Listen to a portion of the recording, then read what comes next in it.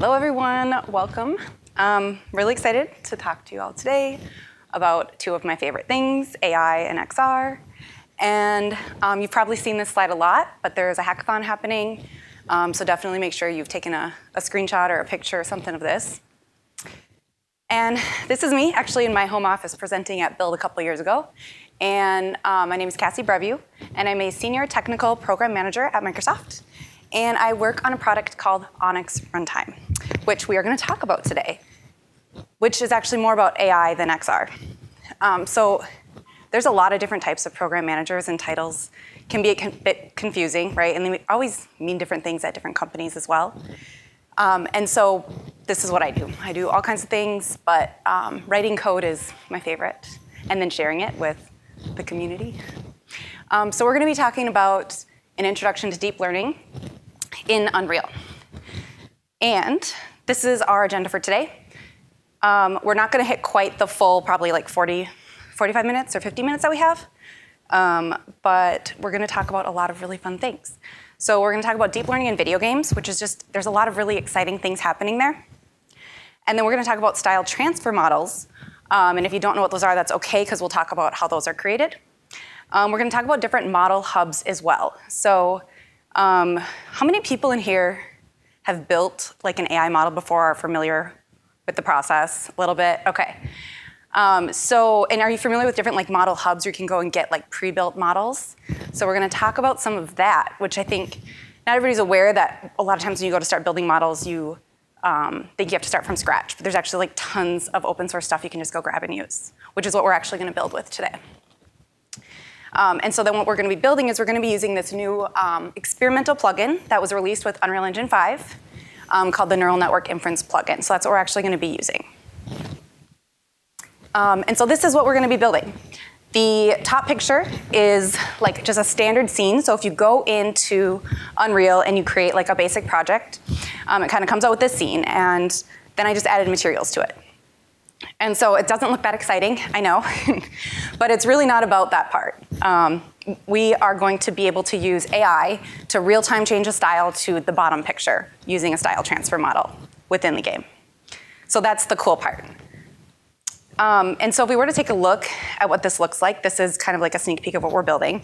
Um, we are going to enable our uh, real-time style transfer, and then this is now real-time changing the style of the game um, with a couple different models. So this is one of them, and, and how that works is it's taking an image um, or like a picture, and the model learns that style, and then is able to apply it to an existing image. And so basically, from a technical standpoint, what we're doing is we're taking essentially a screenshot of the game, um, we are then doing different pre-processing effects on it. We're running it through an AI model, which is creating a new image, stylized, and then we're taking that image, creating it as a texture, and applying it to the scene real time. So that's what's happening technically here, and we'll show the code on how to do that. Um, so I wanted to kind of level set. I think most people, they, like most people raise their hands, so they kind of probably know the difference between these different things. Um, but when talking about deep learning, I was specific about deep learning and not AI because obviously AI has been used in gaming for a long time in a lot of different ways. Um, and AI at a high level is just trying to mimic human intelligence with a computer. Um, and then within that, there's these subsets of ways of doing that. Machine learning, which is um, like classical machine learning where you're taking tasks or you're automating a task with data. And then we are focusing on deep learning specifically. So this is your neural networks. These are your deep learning neural networks that have multiple layers. Um, you need a GPU, and they're generally pretty expensive to train. So we are focusing specifically on this section for a couple reasons. Like all the really cool stuff, in my opinion, right now are happening in the deep learning space, and a lot of it is super experimental. So we're going to look at, before we jump into the one that we're going to be looking at today, we're going to look at some of the different experiments and things that other people are doing and how it's happening. So one really cool one is animation. Um, so this is a way of automatically uh, um, animating a character with AI rather than having to do that manually and do different motion capture. So we're going to see an example of that. Um, automating game logic. Okay, this one is really cool. I mean, they're all really cool, but uh, you probably have seen some examples about like Google or Google, GitHub Copilot, um, and that's using a model called Codex, which is a large language model that was actually trained to write code. And so automating game logic is like I can use natural language, and it can write the code for me, and we're going to see a demo of that too. Um, and that's kind of coming along in all spaces, not just gaming. Like the idea that AI can be a pair programmer for you and you can write natural language, like write a code comment, and it will automatically write the code based on the comment, which is just, again, really cool. um, story generation is another one. So story generation is happening through uh, large language models like GPT-2 and GPT-3. Um, and if you haven't heard of those, those are really like the state-of-the-art natural language processing models. They're using uh, transformer models. Um, they are very expensive to create, uh, create. Like GPT-3 has billions of parameters, millions of dollars to train. Um, and so there's all these different versions of it. But uh, you're able to use that to dynamically create a text-based game. Uh, playtesting is another cool one that we'll see. Uh, photorealism, where you're able to take real life images and apply them to your game to make it more realistic. And then speech recognition, which I think most people are pretty familiar with different speech recognition.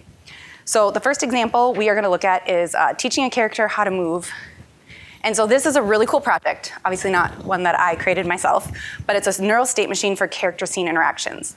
And so generally with uh, motion capture or with creating animation, use motion capture to create the realistic character movements. But if you can see on the left, like you can't capture every type of movement. And um, in order to smooth those out, they were able to build a deep learning model that could um, make those interactions more smooth. So that's a super, like when you think about immersive experiences and how like little things like that can really break the fact that you're in a digital experience versus a reality. Like that one I think is a really cool, and that's an experimental one. I don't believe that's actually being used in any sort of um, production game. Um, and so we were talking a little bit about code generation and the codex models. Um, so this is an example from Build. And what this one is doing is um, there was a codex model that was trained, trained specifically for Babylon JS. So what it's able to do here is take in the natural language like I was talking about and actually write the code and then display it real time. It's insanely cool. Um, and so then it's gonna say, I wanna make the cube spin, and it'll add the code to do that. And so this is all, like, you didn't have to write any code, it's creating the code for you and can create the scene for you. So if I skip a little ahead, oh, there we go. Um, this one's really cool. This is a chessboard. So that one was pretty simple. You're like, okay, it can create a sphere, big deal. But now it's able to create a chessboard with um, one line of natural language. And when you start thinking about what this could do to development in like the development process, this one it was asked to create the solar system. Um, and it created even Pluto, it included Pluto, and was able to even add a ring to Saturn. So this is all natural language coming together to create um, a virtual experience using deep learning. Um, so AI Dungeon's is a game actually out there. So this one you can actually go play with. A lot of these other ones are really just experimental. Um, but what this one does is you go in and you pick like your scene, um, your character, and then you give your character a name. And then this is using, I think on the back end it's using GPT-2, uh, but it's using large language models to actually dynamically create the story as you go along. So every time you play, it's different. Um, and they also have different types of um, like experiences within it that you can choose. And it's really neat because every time you use this, it's going to be a dynamically generated uh, game and unique from AI. Um, one thing that I think is also cool with story generation, um, so you might be thinking, well, a lot of storylines need to follow like a static structure in order to build those things out, and having a dynamic storyline isn't necessarily something that you could use. Like there's ways that it could be, but a lot of ways it's still too hard um, because the, it's not always going to inference the same thing. But I think it'd be really cool also to think about it as helping you build your story. Like what if you went to a large language model and you like, when you, you kind of had like an idea of something you wanted to build, but you wanted help building out your story? Like just like we can use these codex models to help our writer code, we could use the large language models to help us write our story. This one's probably my, I think, the most eye-catching one. Um, so this one was by GTA 5. And you, I bet a lot of people have seen this one because it like made the news. It was so cool. Um, so what they were actually able to do is they took a convolutional neural network and they're doing frame by frame inference. So like similar to what we are doing, where we're doing frame by frame inference. Um, and they're using the Cityscape data set, and they were able to take their input and then apply the, the realistic photos to take their game and make it look just insanely real. So when you see a GTA 5, that's what it looks like, and when you see ours, that's their model that's been applied to it, and you can see how realistic it's able to do that. I just, I love that one. This is just so cool.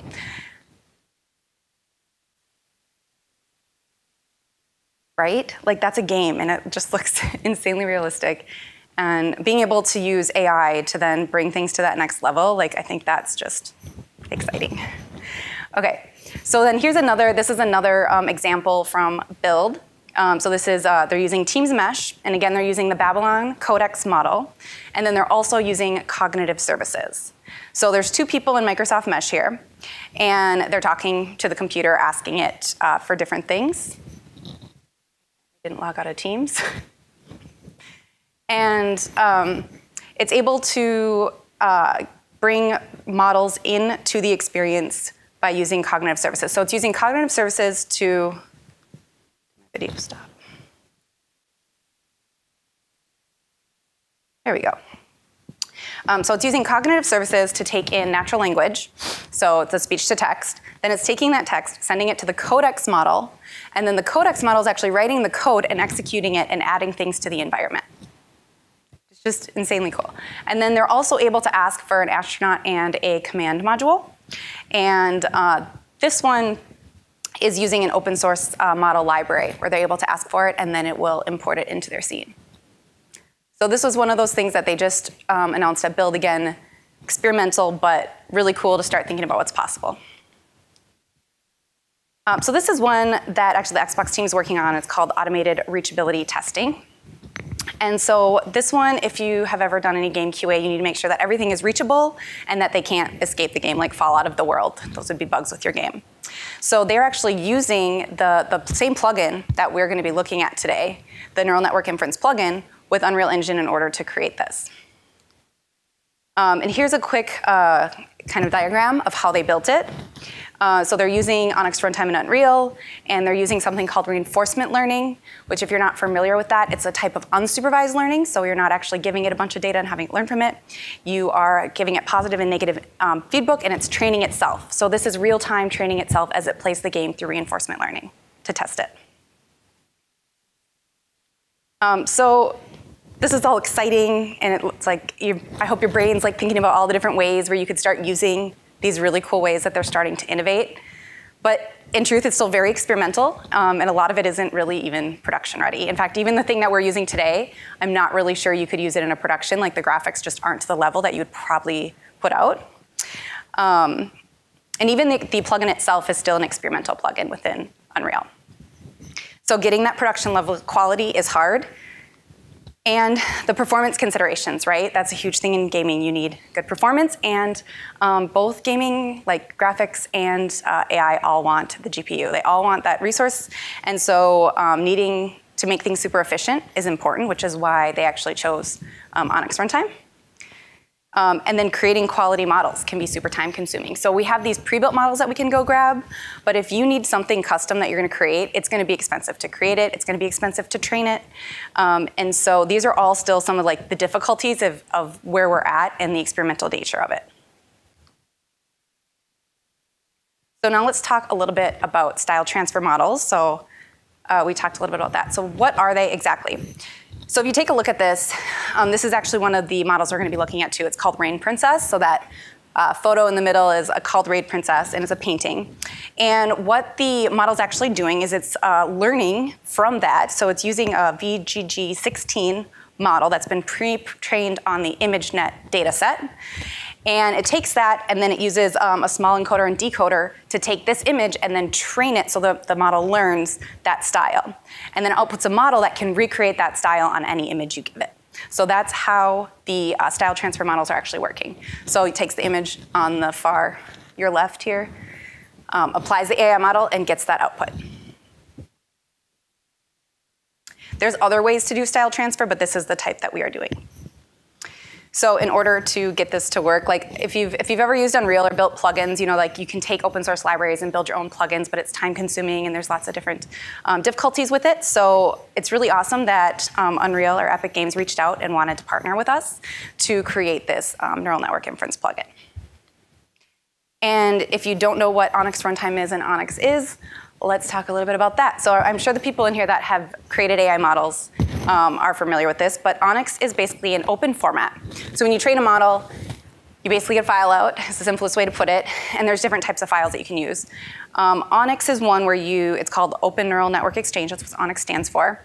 And then once you export it to that format, you can then take it and use it multiple places. Um, so it's important because you might be training in Python, but you might be inferencing in C Sharp. And in our example, we're gonna be inferencing in C++.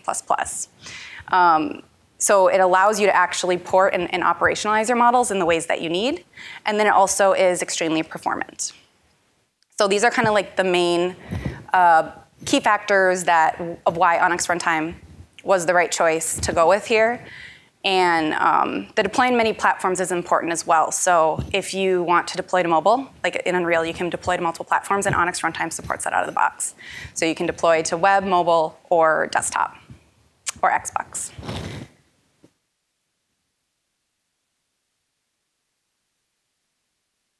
And so this is just a nice graph where you can see like the different training frameworks. Like if you were going to train your own model, they're generally trained in like PyTorch, TensorFlow, um, Keras, um, and scikit-learn for uh, classical machine learning. You convert it to ONNX. Then once you have ONNX runtime, now you can deploy wherever and inference with whatever supported language. And then this is just an overview of the neural network inference plugin, um, how it's used, and some of the different things that it's able to do. And now we'll get to the good stuff, the demo.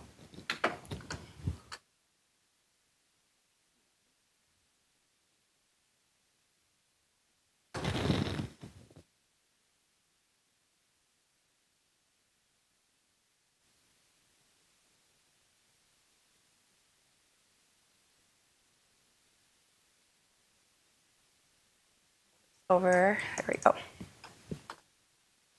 Okay, so this is um, once you have um, Epic or Epic Unreal running locally. Um, in this content browser is where I've actually got my models, and let me show you where I've got those from. So I've got these models from the ONNX Model Hub. So there's different model hubs where I was saying that you can go and just grab pre-built models rather than building your own. Um, this one is the ONNX Model Hub, and there's a lot of different models within here that are already in the ONNX format that you could literally just go grab and use with this um, plugin if uh, you didn't want to have to like go build it yourself. And there's a lot of the basic things have been solved. So um, image classification, um, we are looking at an image manipulation model. Um, so super resolution is a really cool one too, where if you have, if you're not familiar with what super resolution is, if you have a blurry picture, you're able to apply a neural network that'll actually enhance it and make it more clear. Um, so that's what that one does. But we did this uh, fast neural style transfer.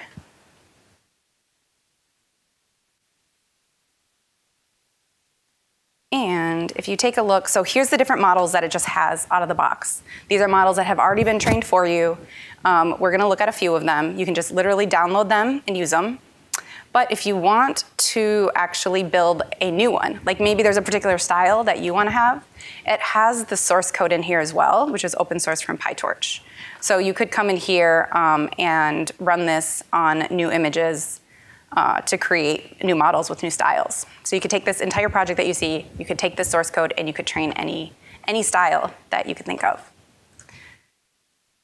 And then the other really neat hub um, is Hugging Face. So Hugging Face is doing a lot of really cool things in the machine learning world, in my opinion, and in many's, I think they're they're really changing the open machine learning landscape.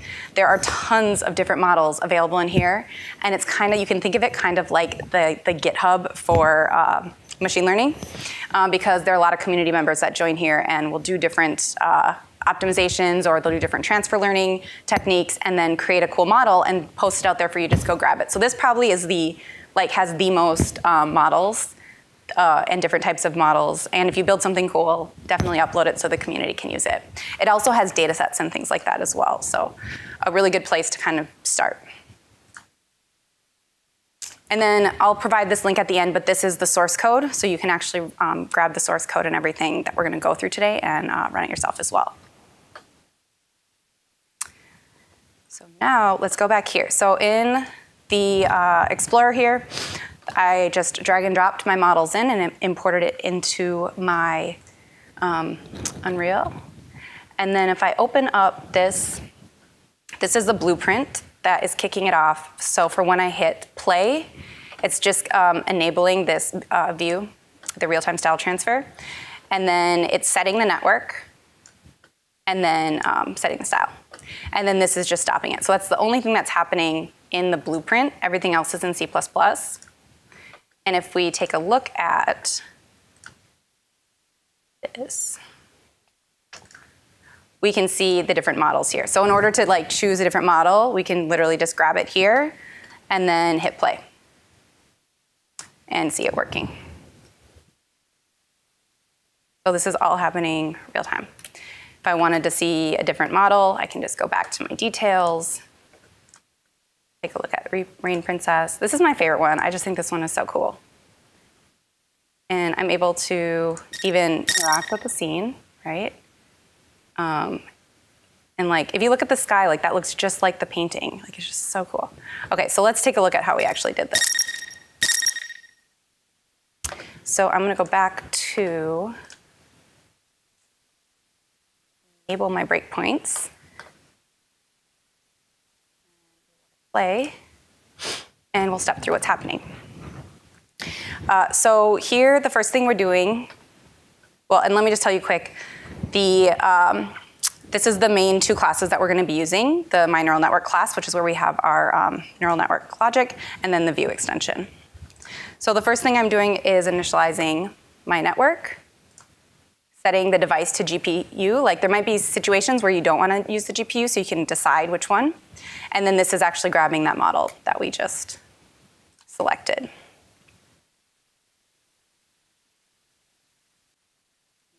A little bit easier to see. Okay. So if we go down here to the next, so we're grabbing the input texture, and then we're also grabbing the height and width of the current scene. Um, we're gonna need this because we're gonna have to resize it for our model, which I'll talk about why. If we step into our um, copy texture, what's happening here is we are actually taking a read surface, so we're actually reading the surface data, getting the texture of the current scene. So we need to actually read in the data of the current scene and um, process that into the input image CPU. And so we're grabbing the, the raw image and then we're grabbing out the RGB values into our um, object. So with machine learning, there's a lot of different types of uh, pre-processing that you have to do in order to get a model ready to um, process your data. Like you can't just send it, you need to do different things. So like models are expecting a uh, tensor shape.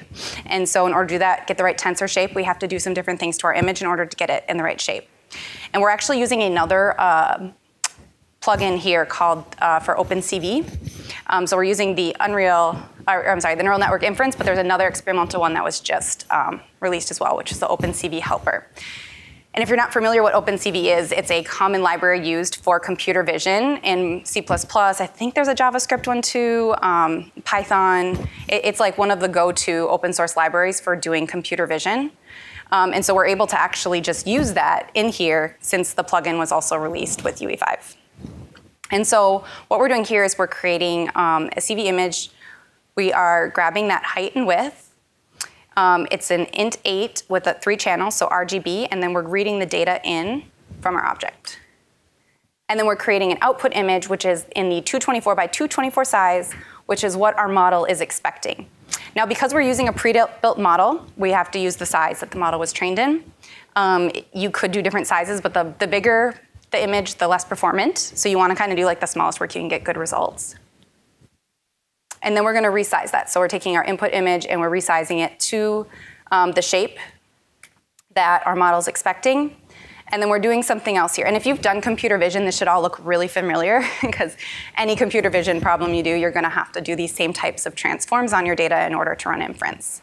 Uh, so then we are um, creating our vector, and then we're normalizing it. And basically that just means we're normalizing, normalizing our values from between 0 to 225, right? Because pixels are between 0 and 225, or I'm sorry, 255. And then um, we're dividing by 255, which gives us values between 0 and 1, and that just makes our model more performant. So it's called something called normalizing your data. And then from there, this is expecting um, channel height width instead of height width channel. So we're going to loop through and do that processing.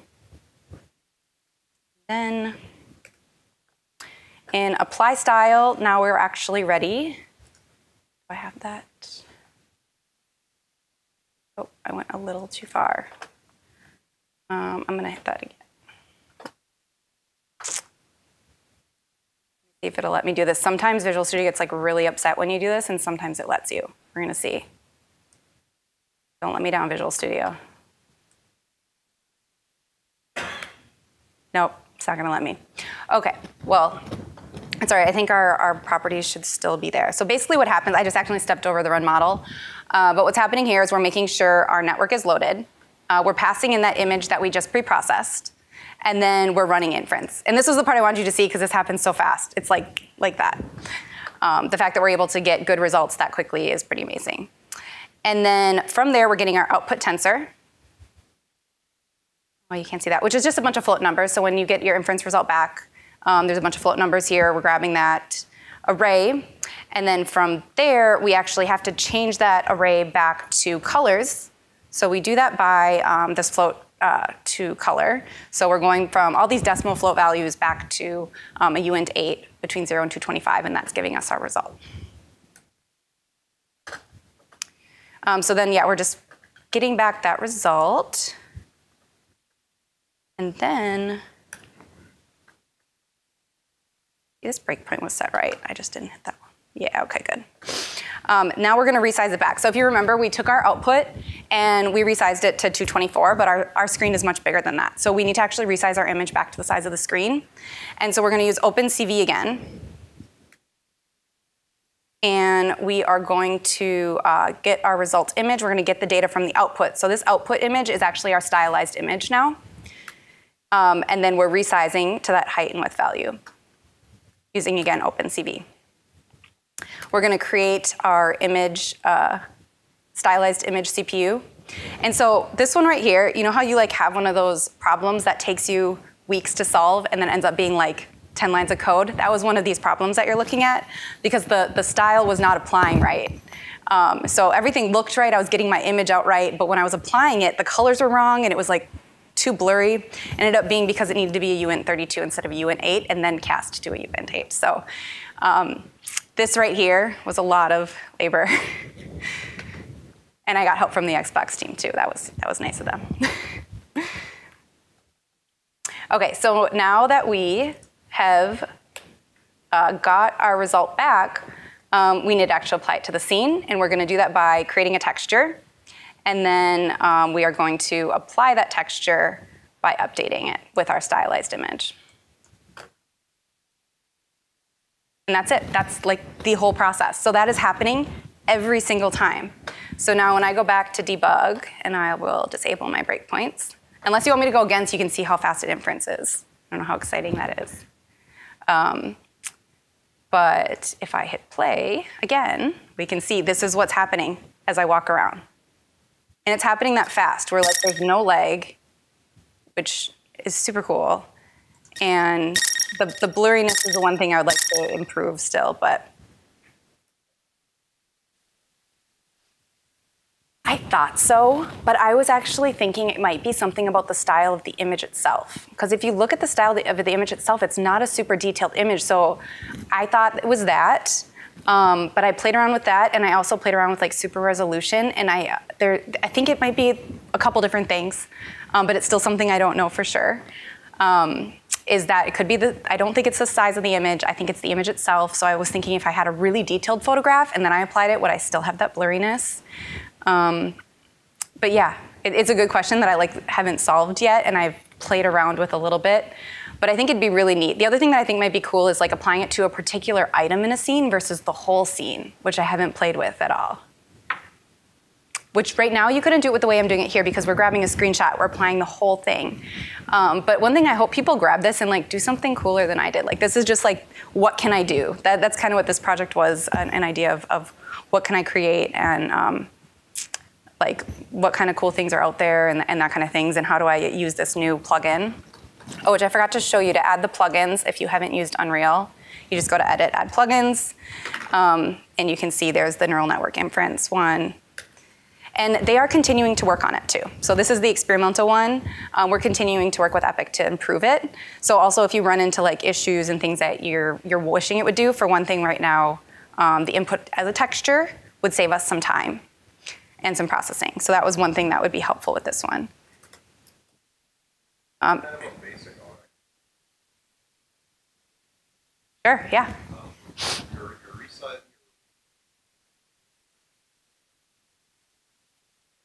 Exactly.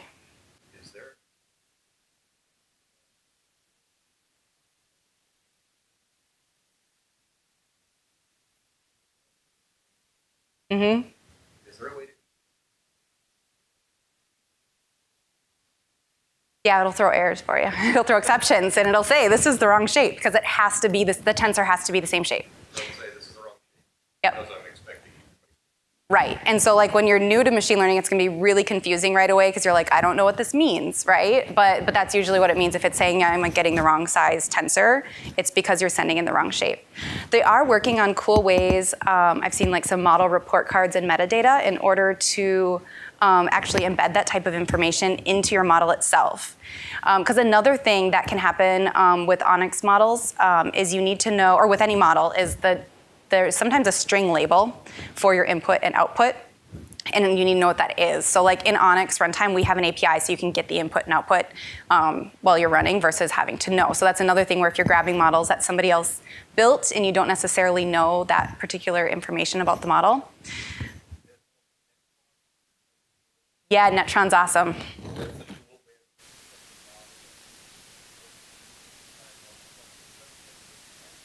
Mm-hmm.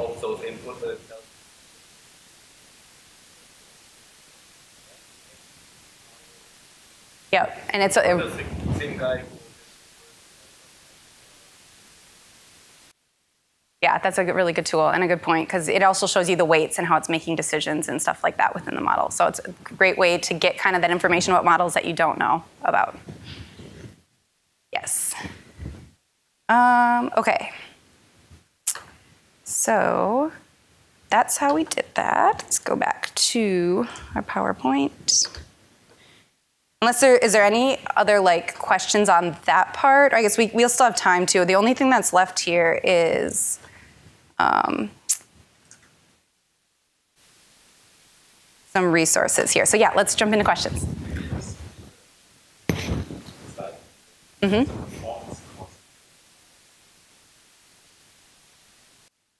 So I haven't run like any analytics, but like I, it's talking to me. So like, but Unreal in general, when I'm running on my machine, it still is, and I think I have a I have a 3070 maybe? I forgot.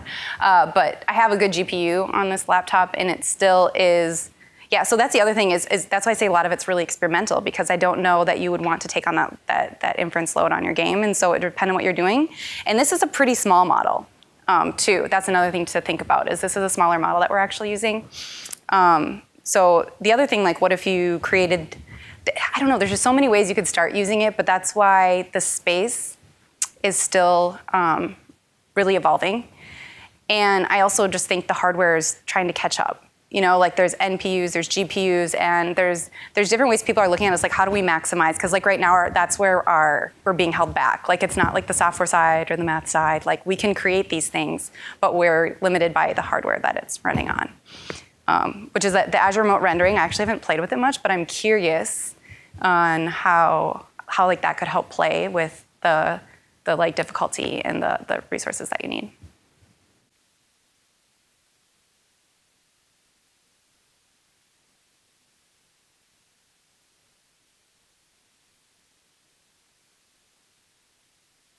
Yeah, so what he's asking is if you could add another model that would improve the quality of the result. And I was playing around with that a little bit with super resolution. Um, the difference was, so the problem with super resolution is it's not RGB. And so I have to do yet another transform on um, my data to get it into the right format. And then from there, I have to go back to RGB and then back. So there was like so many steps to doing that that I was thinking that it might not be the best route. But you totally, like multi-model inference um, pipelines are definitely something that are used and could be looked at. And I, I did think about that. Um, if you can get it working, cool. Like do a PR. Uh, but but yeah. Um, I was thinking about that as well, and, and I think that there's there's definitely situations where multi-model makes sense. Um, with this one, I think it really is um, looking at the image itself and playing with different styles and, and that kind of thing. Yeah. So you're Every frame, it's reapplying that as it's updating the texture. So it's doing something called it's a post processing material is what um, Unreal does. And so it's creating that texture and then applying it post-processing. So it, there's a lot of different types of post-processing materials and that is used today. The difference is that we're getting the material with um, an AI model that is dynamically creating it. So like being able to post-process and add effects after is something that happens today in games that you use and is part of Unreal.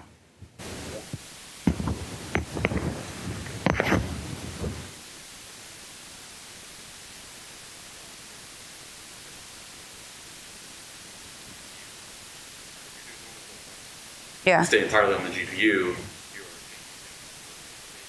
right. you need the entire image. So we have to copy back and forth, Yeah. and that's part of the thing that we want to work on um, because it's experimental. And, and but yeah, because that's also something that could help with the performance as well. And then um, yeah, trying different model uh, sizes as well, like maybe. Like I don't think the model size in this is an issue. I think the model is the right size because you don't need to make it bigger just to make like I don't think that would actually help the resolution that much. Uh, but I think there's a lot of things that you could try. And I'll say, I mean, building this out and like experimenting, it probably took me like three months to build all this out. And so there's a lot of things like I want to still do, but I haven't had like time to really experiment with. I mean, it only took what 10 minutes to walk through the code. yes. This is GPU, yeah. Yeah, so we're inferencing on GPU. Um, and then, I mean, the Unreal is utilizing the GPU to run the game as well. But yeah, we're inferencing on GPU, if, if that's what, you, is that kind of what you mean? Yeah. Exactly. So when you saw in the code, if you want me to go back, where I was setting the, um, the device up here, um, I can set multiple different devices. Um, so I could change this to CPU and I could be running it on CPU. But because I set my device to GPU and GPU is available, I'm able to leverage that. But maybe you're um, deploying to a target that doesn't have uh, GPU. Um, you could set it to CPU. Any, any other questions? No? Yeah? Yes? Try not to, I,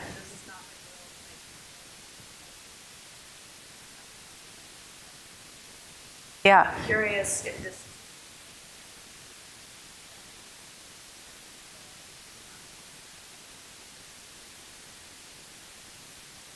Okay. Yeah, no, it's a good question. Yeah, no, it's a good question. So she's asking if you could use Barracuda um, with ONNX Runtime um, in Unity. So uh, Barracuda is actually Unity's specific um, plugin that they've created to do inferencing in their engine. So Barracuda is specific to um, Unity, and they had built their own inferencing engine. Um, if you wanted to use ONNX Runtime in Unity, you could, but you would have to build your own plugin to do that at this point. Um, but yeah, so they do have it. Um, but yeah, it, it does actually support ONNX format though. That's the other thing is Barracuda supports ONNX format. So you don't have to use ONNX runtime to use an ONNX model. So you could definitely use Barracuda and ONNX. Um, their support is different though, for, and like for um, different platforms. Like we, we support more platforms. Um, in general, I think our performance is higher, but I'd have to double check that one. But yeah, so so they they are similar, um, and it just kind of depends on what you're using, and if you want to build it out yourself, which takes time. So that's a good question. Is that is that everything? Cool. Uh, let me get these. Did everybody get the resource slide um, up here? Why does it keep doing that? I gotta change my main mod- monitor. There we go. Everybody got the resources? Um, so ONNX Runtime YouTube, I guess I'll just run through these quick. Um, I create a lot of videos for ONNX Runtime on the YouTube channel, and I actually have a video on this one as well. So if you want to go take a look at this demo again, it's actually on the ONNX Runtime YouTube channel. Um, the ONNX Runtime docs, if you're interested in just more about learning more about ONNX Runtime, and our Twitter. And then the last one here uh, is the uh, source code for the demo that you can go download and run.